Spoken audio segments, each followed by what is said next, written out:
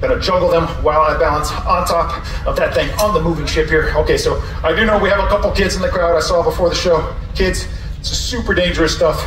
Do not try this until you get back home, okay?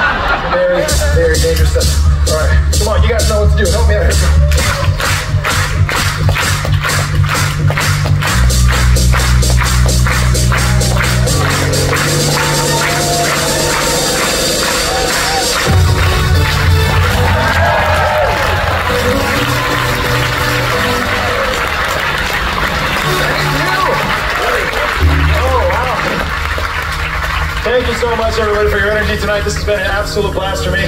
Now, I told you I just got here today, so I never really know what to expect coming out here. But, folks, thank you so much for making me feel so welcome at the show here. Did you guys have a great time at the show, please?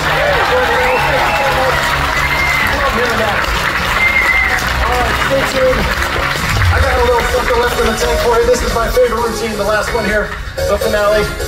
Everything you're about to see, I produced and programmed myself. So last but not least, thank you so much for allowing me to do what I love for a living. Time to bring this one home. Here we go!